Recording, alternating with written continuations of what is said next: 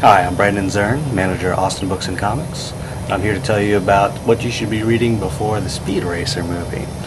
Now, not everyone knows it, but Speed Racer wasn't originally a cartoon. It was actually a manga, which is Japanese comics.